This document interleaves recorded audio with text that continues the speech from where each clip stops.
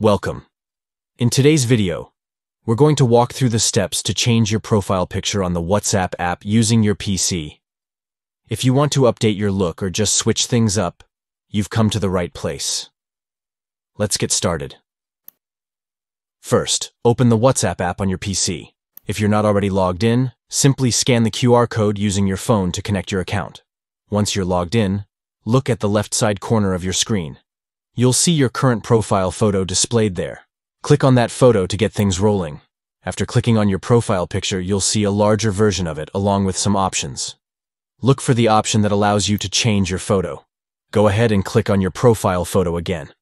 Now, it's time to change the picture. You should see an option labeled Change.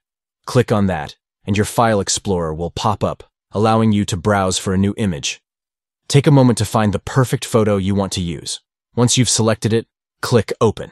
You'll get a preview of your new profile picture right away, which is a great way to make sure you love it.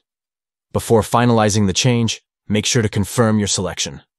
Look for a confirmation button, usually labeled Save or Confirm, and click it. Just like that, your new profile picture is now live.